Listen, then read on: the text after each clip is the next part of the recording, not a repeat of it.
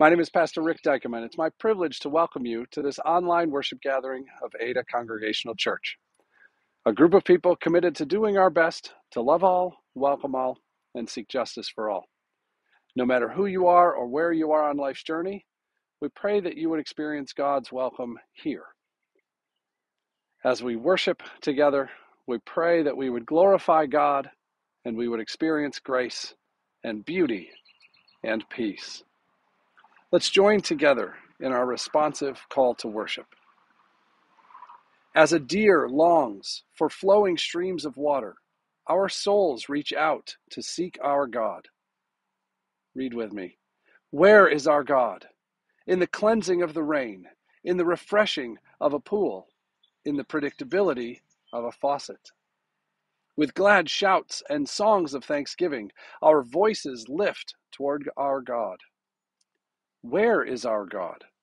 In the melody of voices raised in concert, in the stillness of silence, in the cacophony of spontaneous praise. As deep calls to deep, we come to worship the living God. Where is our God? In the echoes of our prayers, in the reverence of bowed heads, in the hope of raised faces. The Holy One is with us. Let us pray together. Holy Wisdom, we hear you calling us to gather to hope in your name.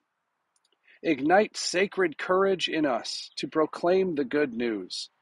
Inspire a compelling vision of community. Renew our spirit so that we might rejoice in the beauty of your creation and delight in one another. Amen.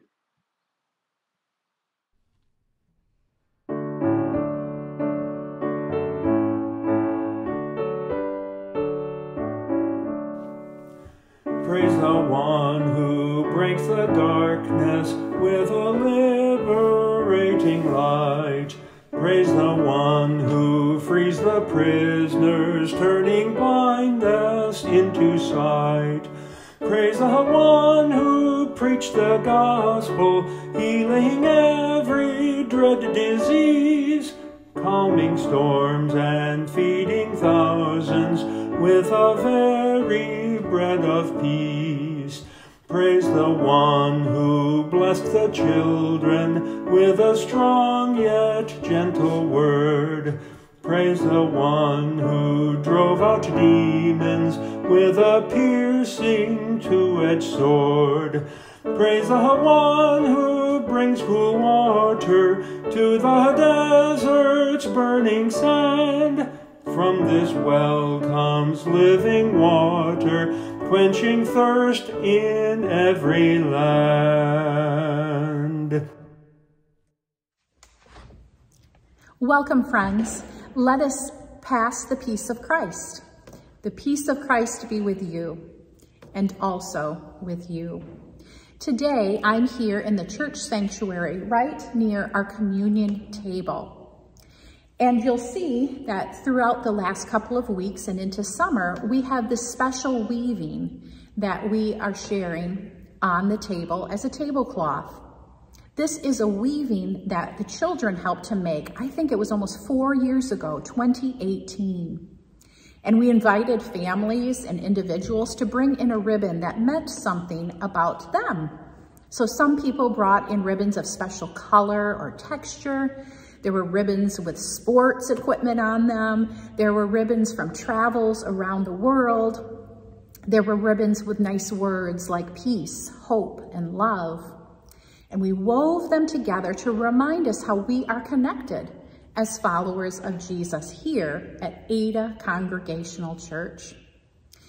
I think of that and how we are connected with our lives and our ideas and our faith. Just last week, many of our friends went on the big trip to the Smoky Mountains and they lived together and hiked together and prayed together. That means they're woven together.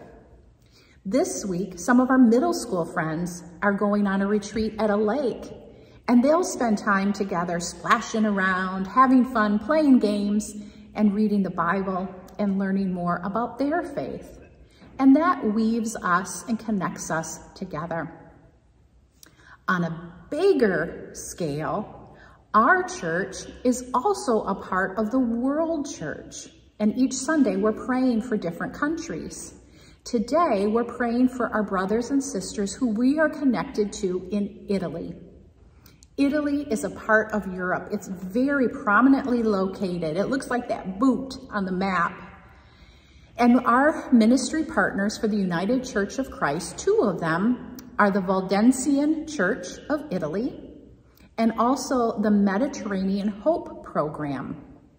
Just recently, the Mediterranean Hope program and a woman named Fiona had a retreat for youth from different parts of Europe.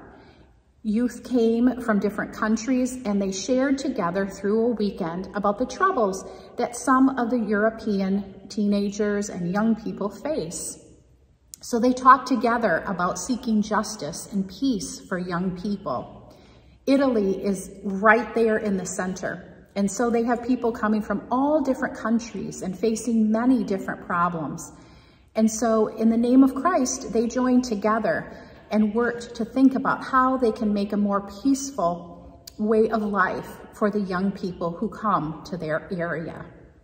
It's exciting to think that we are a part of a church family here in Ada, but we are also woven together and a part of a greater church around the world.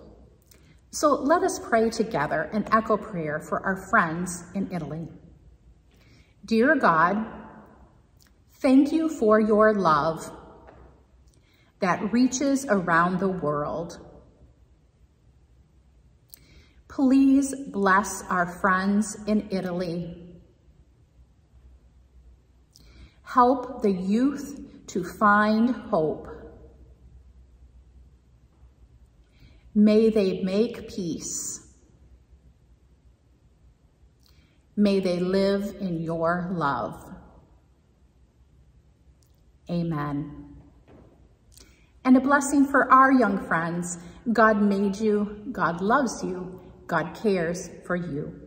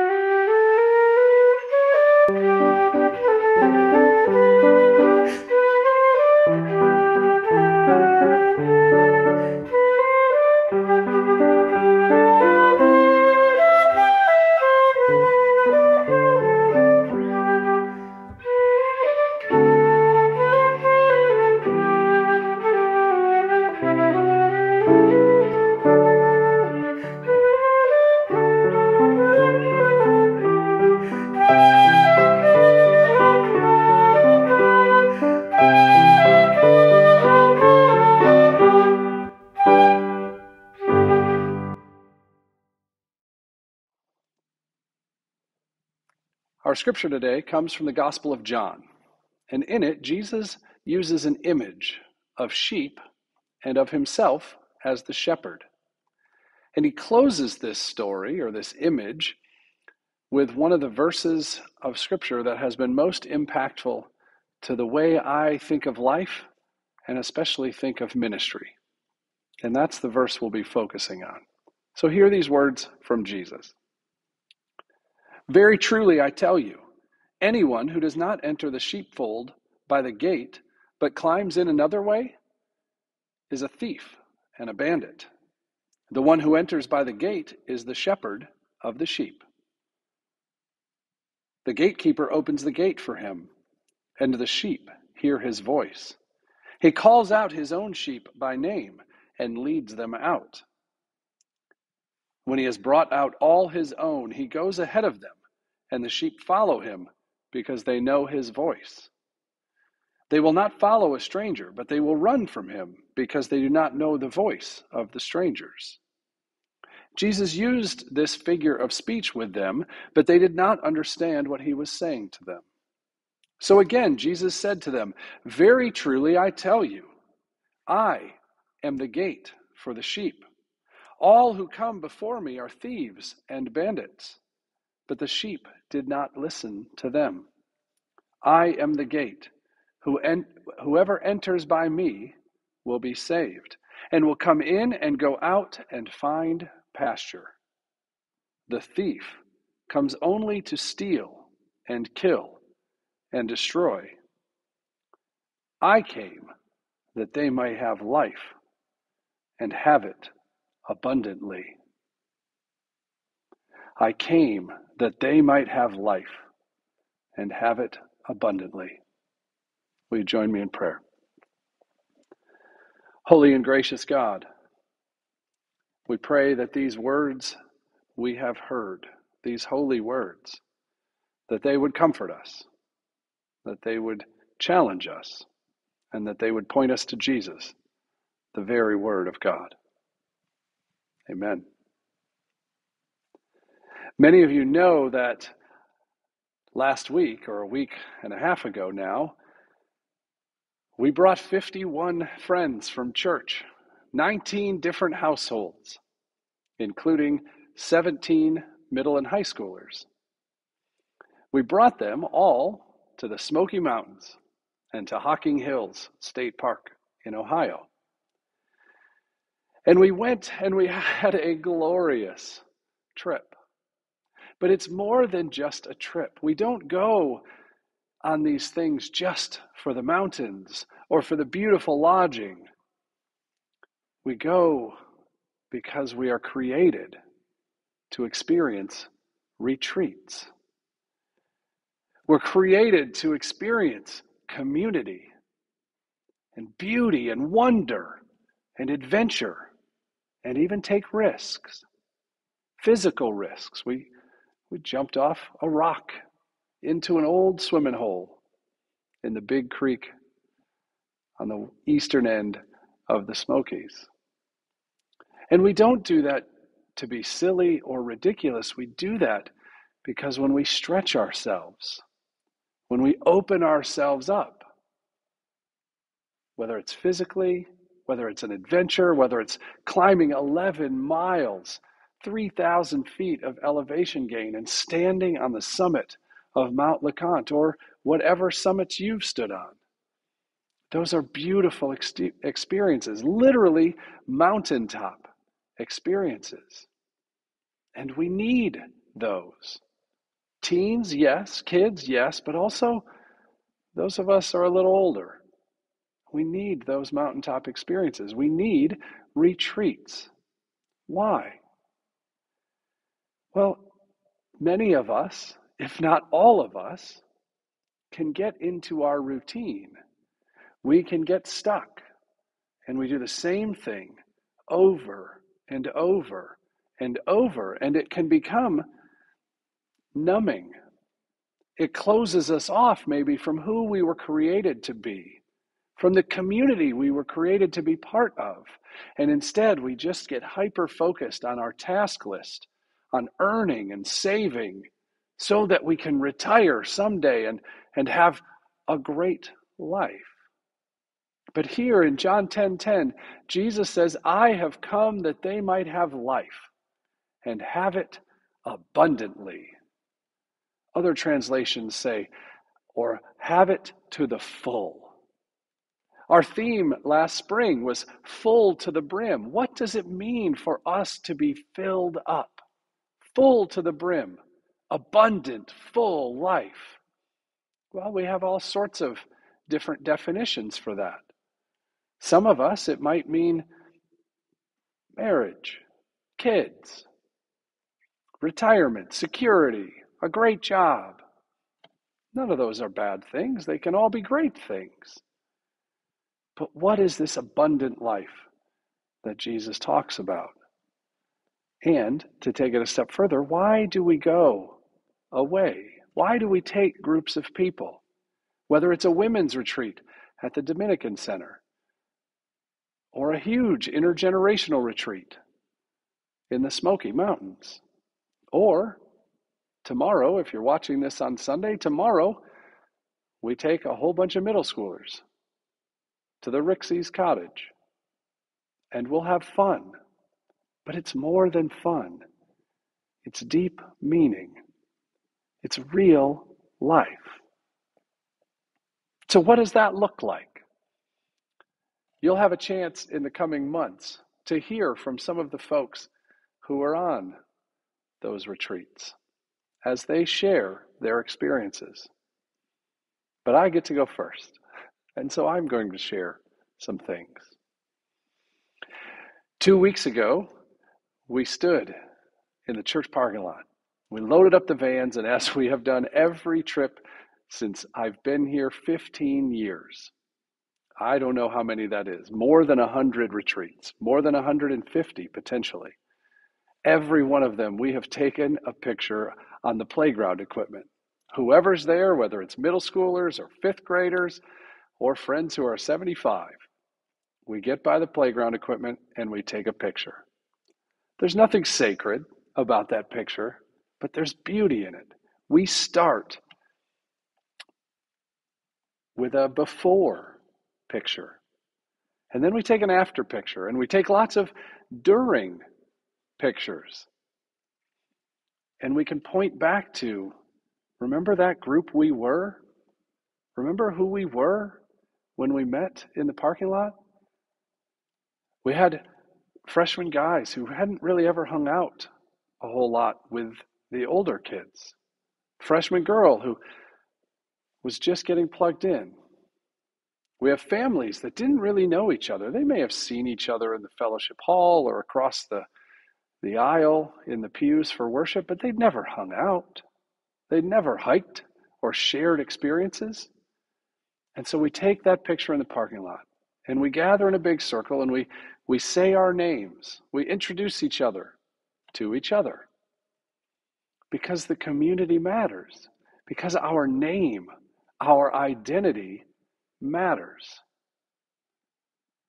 And then I shared a few quotes a few scriptures, laying out what I think that week might look like. I have a fair amount of experience over the last 25 years of leading retreats. So I have an idea of what it could be, what might come about. But you never know. Every group is different. Every time we gather in that parking lot, it's the first time that group has ever gathered there. And we don't know how that will play out. We don't know what God has in store for us as we start the week. But I read a few quotes. I'd like to share them with you today. One, I don't know the author. I would love to give credit. It's a beautiful quote. We've used it on lots of our times together. But it talks about risk. And in that parking lot, we talked about we're going to go out of our comfort zone this week. We're going to stretch ourselves and stretch each other. And so this quote says to laugh is to risk appearing the fool. To weep is to risk appearing sentimental. To reach out for another is to risk involvement. To expose our feelings is to risk exposing your true self. To place your ideas or your dreams before the crowd is to risk their loss.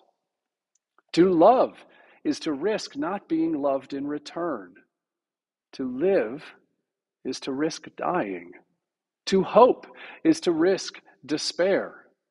To try is to risk failure. But risks must be taken because the greatest hazard in life is to risk nothing. The person who risks nothing does nothing, has nothing, and is nothing.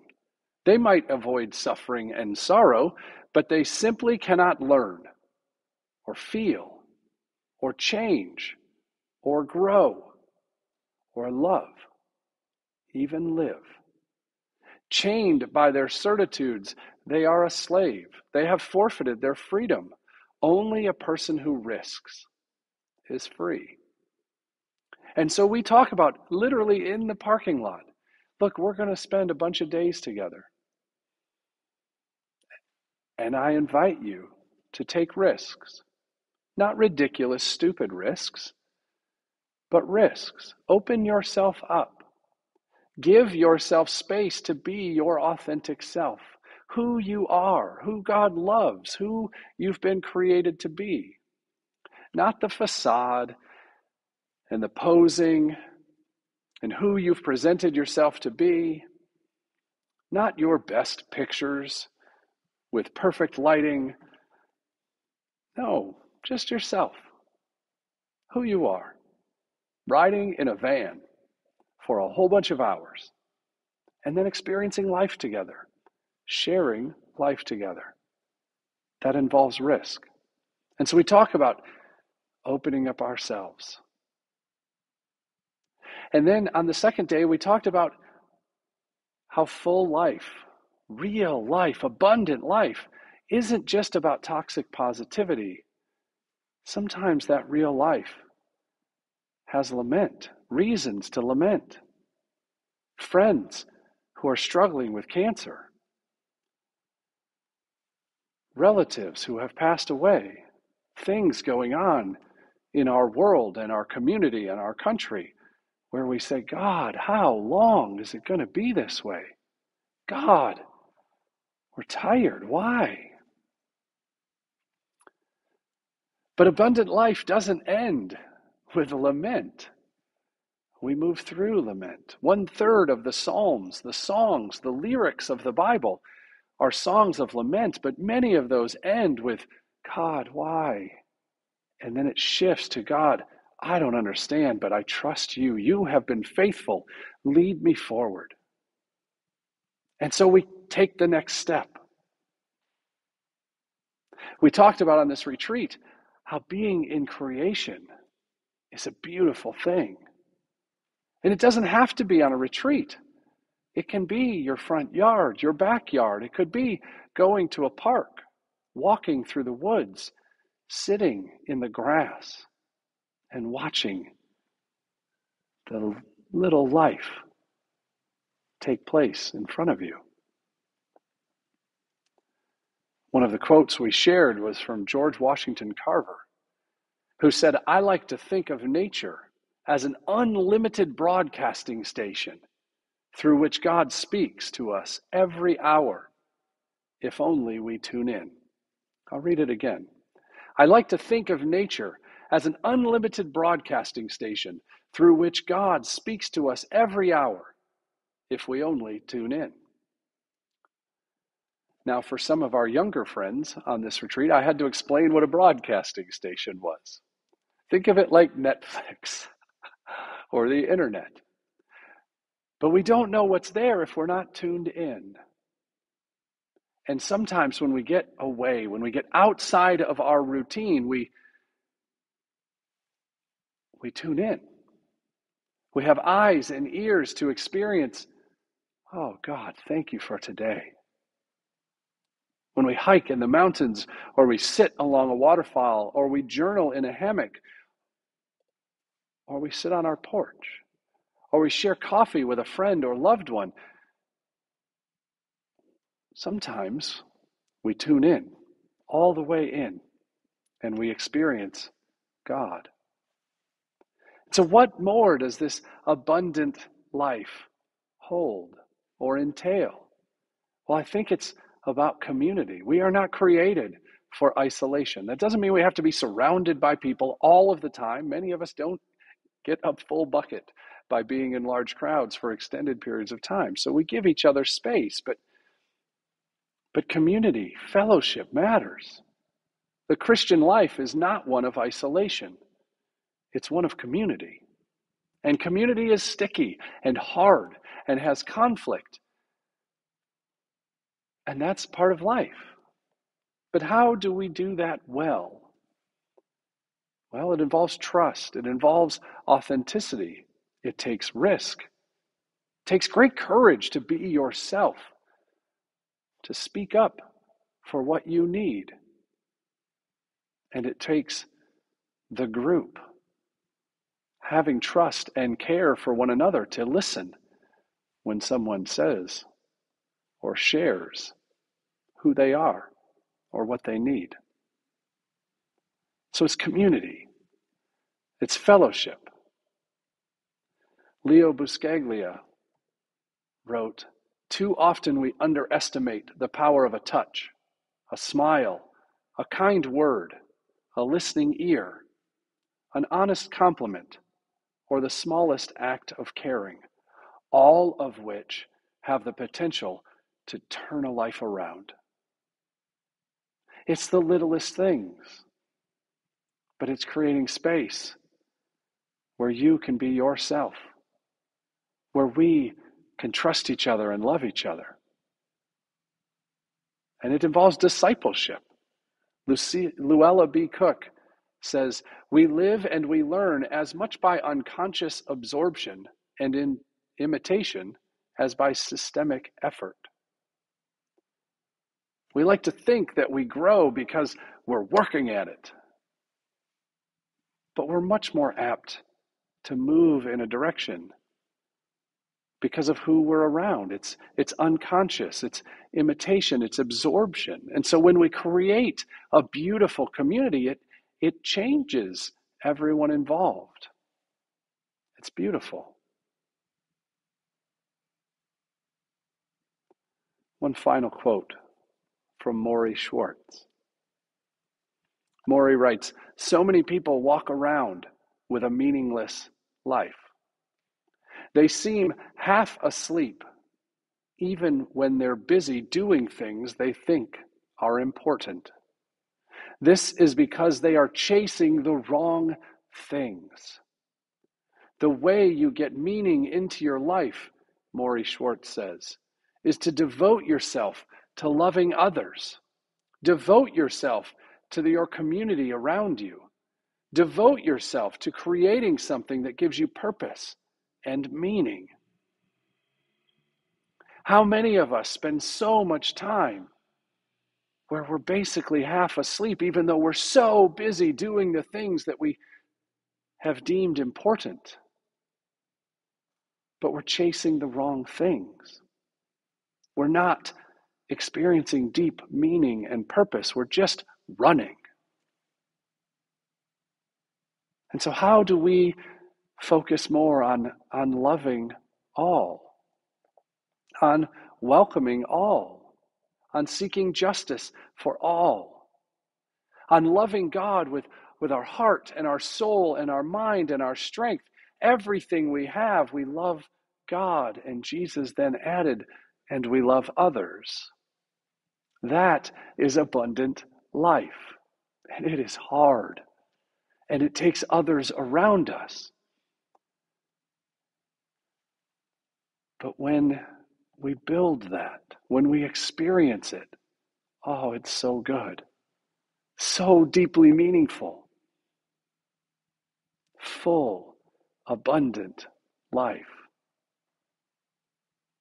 May we experience all that God has for us by tuning in to that broadcasting station of creation May we experience the full life that God has for us by opening ourselves up, by being our authentic selves, sharing ourselves and our gifts with a trusting and caring and authentic community. Oh, friends, may this church community, this family, may we be that for one another and for our community and for the world. Jesus came that we might have life and have it to the full. Amen.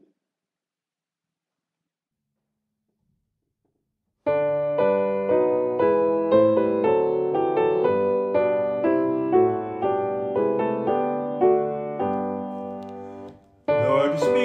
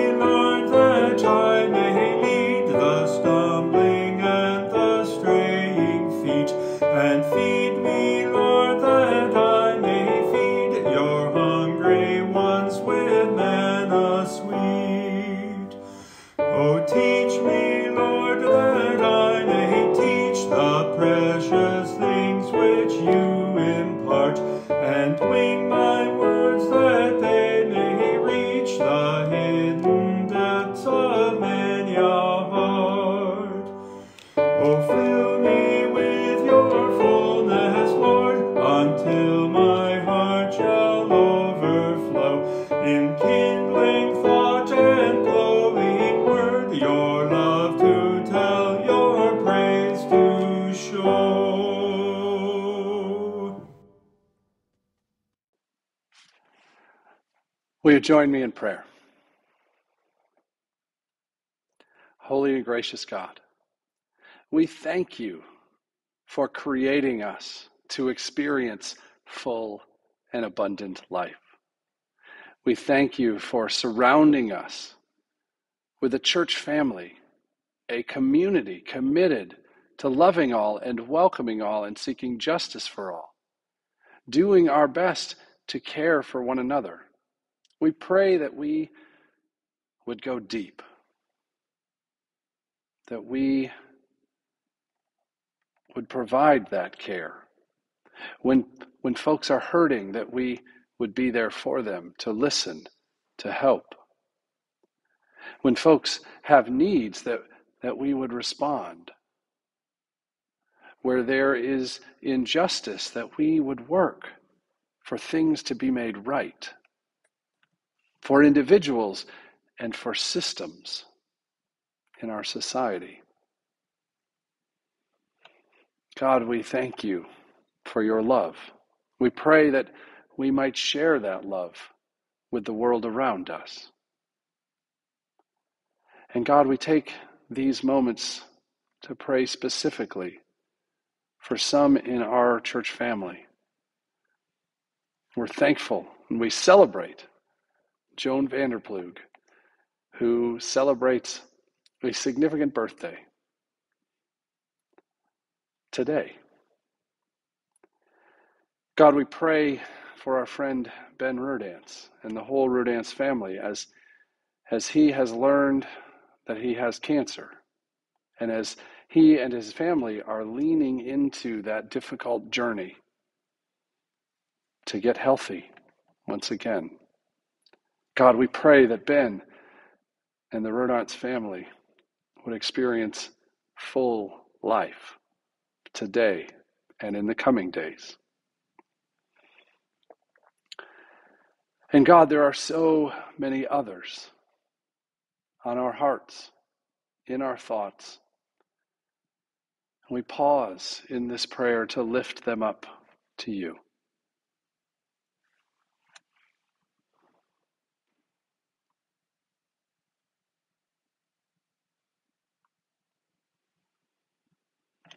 God, we pray for our local church, that we might be a beacon of your light and your hope and your peace and your justice. God, we pray for our community. Where there is conflict, we pray that you would bring peace. Where there is beauty, we pray that it might shine. And God, in our state and our nation, there is so much, so much hurt, so much distrust, so much. And it seems like some of the foundations are shaking. And God, we pray that we might see you, that we might look to you in the midst of things swirling around, that, that we would see you, that we would work again for your love, for your light, for beauty in this world, that we would care for the folks who seem to be valued the least, who are pushed aside to the margins, who are ostracized, who are blamed. God, your Son worked so hard for those people, went to, sat with, cared for those people. We pray that we might have the same heart as Jesus. And God, as we move into this summer season, as people travel, as people wander, we pray that, that we would see you in the beauty, that your broadcast station would be something that we are tuned into. God, we pray for the middle school retreat that leaves tomorrow. May they experience joy and wonder and fun and community, authentic community. God, we pray that your shalom, your peace, would come on earth as it is in heaven, even as we pray the words Jesus taught us. Our Father, who art in heaven, hallowed be thy name. Thy kingdom come, thy will be done, on earth as it is in heaven. Give us this day our daily bread, and forgive us our debts as we forgive our debtors. Lead us not into temptation, and deliver us from evil. For thine is the kingdom, the power, and the glory forever. Amen. And now, friends, as you go, receive this benediction, these good words. May you experience the abundant and full life that Jesus promised.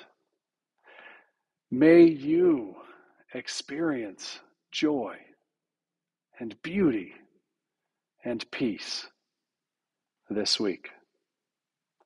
Love well. Grace and peace, friends.